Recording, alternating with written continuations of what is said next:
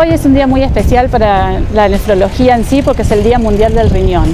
Todos los segundos jueves de marzo de cada año se celebra el Día Mundial del Riñón. Es una iniciativa de la Sociedad Internacional de Nefrología. El objetivo es concientizar a la población y a todo el mundo sobre la enfermedad renal. Uno de cada diez personas tiene enfermedad renal uno de cada tres diabéticos tiene enfermedad renal y uno de cada cinco pacientes con presión alta, hipertensos, tiene enfermedad renal. Entonces es una problemática donde hay que actuar. El lema de este año, porque cada año tenemos un lema distinto, es salud renal para todos en todas partes. ¿no?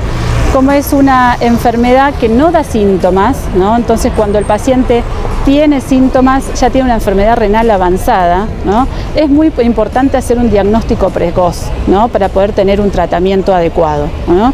Es una enfermedad que tiene mucha inequidad, ¿no? así como hay eh, una diferencia muy alta en la población de gente muy rica y gente muy pobre, ¿no? las condiciones sociales pobres, la pobreza, la discriminación de género, la obesidad, eh, ciertos factores laborales, la contaminación, favorecen el desarrollo de enfermedad renal.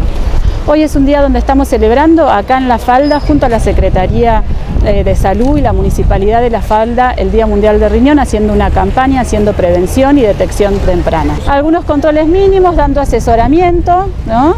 y detectando enfermedad en los pacientes, en la población general en realidad, y después bueno, poder hacer un seguimiento nefrológico. En la cumbre vamos a hacer esta misma campaña, no la podemos hacer el mismo día por cuestiones obvias, la vamos a realizar el lunes 25 de marzo en el SEM, junto con el SEM y la Clínica Bermúdez.